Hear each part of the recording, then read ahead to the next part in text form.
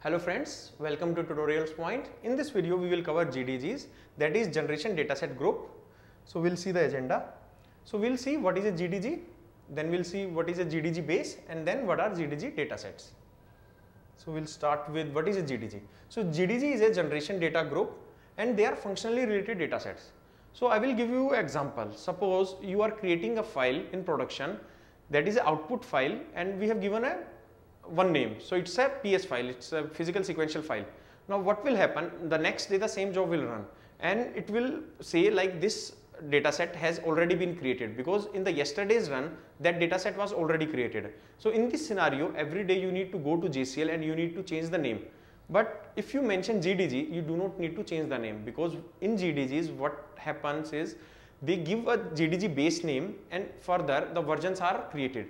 So it's like if a job is running on daily basis then you do not need to change the name again and again you just need to declare a base then you the original data that will be stored in the GDG datasets. So by this situation will will save time by making changes in the JCLs every day.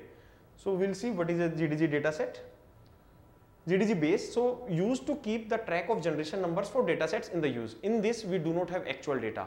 Actual data is stored in GDG datasets. So IDCAMS utility is used to define the GDG base. You can do it using 3.2 option as well as you can do it from JCL itself. So in JCL you can code IDCAMS utility and inside that you can define a GDG base. Now GDG datasets as we have discussed this earlier they contains the actual data and can be created by IEFBR14 utility or IB IEBGENER utility.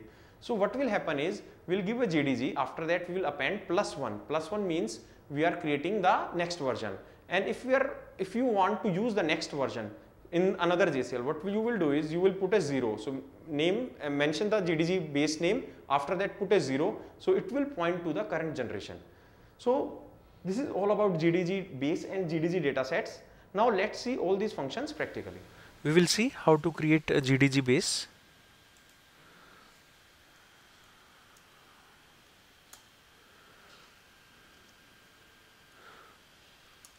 member list. This is the JCL which I have coded for GDG base. Open in edit mode or view mode. Reset. First of all we will discuss why a GDG is required when we have datasets suppose in production we need we generate a file and we require that file in Tuesday's run. So it's not possible every day to change the name again and again in the JCLs to update for the new file. For such scenarios, we have created GDGs. They share the name, same name and the version number is different. But while mentioning in the JCL, we will mention the base name only and the current version will be picked.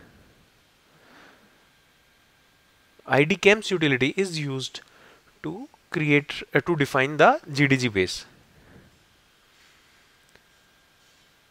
This is uh, utility, then uh, says print system messages, then this is the GDG card.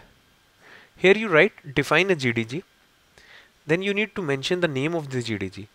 As I have given tutorial dot point dot GDG, I have given limit as 5, no empty and scratch. What is this limit? Shows how many generation datasets to be maintained. Suppose for a particular base I need 10 datasets or I need 15 datasets. It depends from requirement to requirement. If you want to go back and check the last 15 datasets then you need to mention limit as 5 or 15 based on your requirement. Then we have empty and no empty. Here you can mention empty as well as no empty also.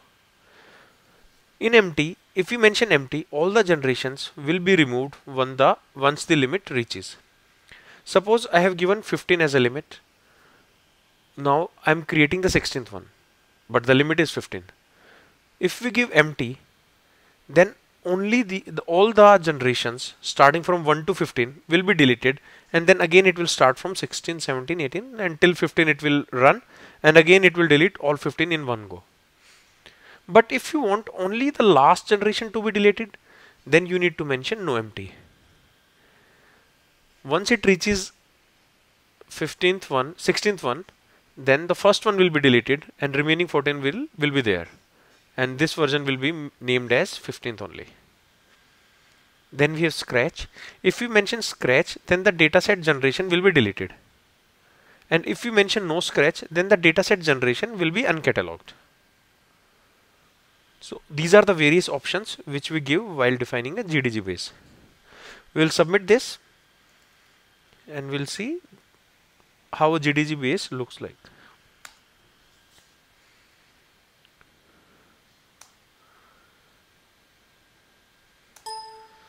Condition code 0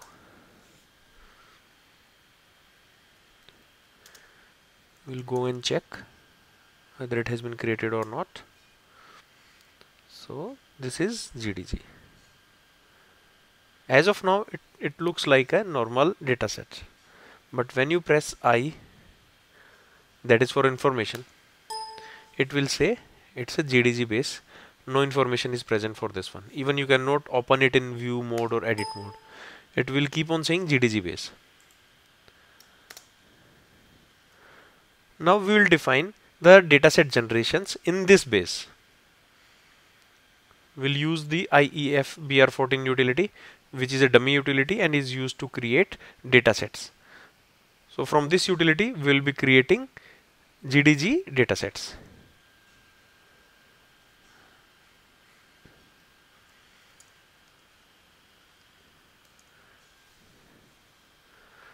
this is the utility. Here we have mentioned tutorial.point.gdg plus 1 plus 1 means create the next version. If no version has been created it will be creating the first version. If first version is created it will be creating the second version. And it will keep on going. So I will submit this job.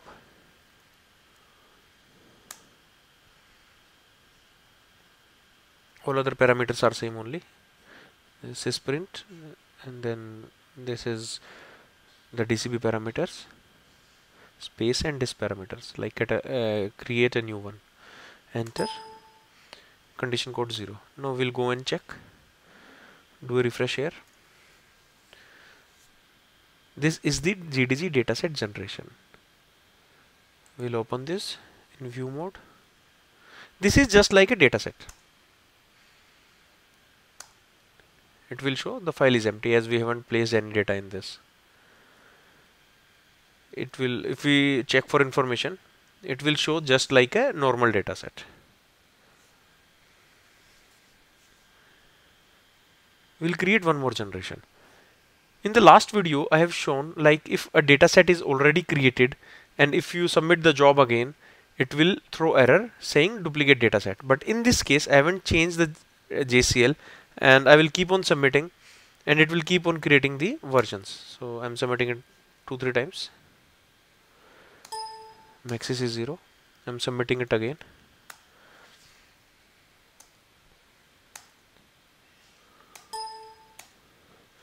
Now we'll go and check. There must be three generations as of now. Here you see the difference.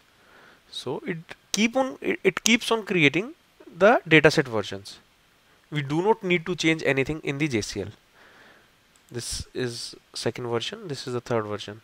They will reflect the same information their record length and they will be empty members.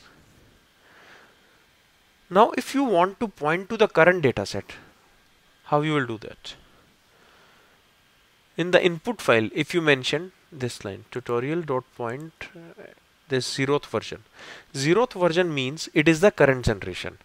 When you mention this in an input file then you mention the GDG name GDG base name and in the bracket just mention 0 so it will pick the current generation. So from here if I will mention this as a 0 so it will be picking this information. Also suppose while testing if you want to give the complete name of this one you can also do that. You can give the complete name in the input file.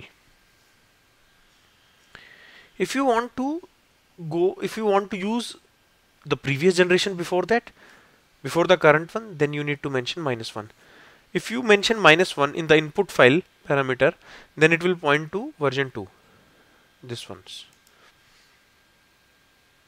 And if you want to point to the last generation third generation just write 3 here minus 3 so it will go 3 times back. So it will be pointing to this, this data set plus 1 is used to create the new version.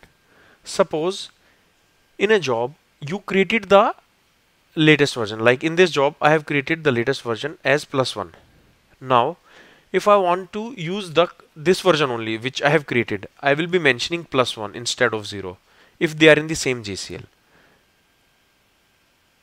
this is the only trick here. If they are in the same JCL and I'm create I'm first creating a GDG there GDG dataset and if I want to refer to that dataset only in that scenario as an input I will be mentioning plus 1 not 0 if you mention 0 it will be picking one version previously. And if you are using it in different JCLs suppose uh, if we started a JCL if we started coding a JCL and in that you want to refer to a GDG dataset to the current one then you simply mention 0 but it is it's a different case if you are creating a GDG dataset there in the same JCL and further you are using it then you need to mention plus 1 for the current version. So this is all about GDGs. We have covered the basics of JCL. Keep on practicing. Good luck.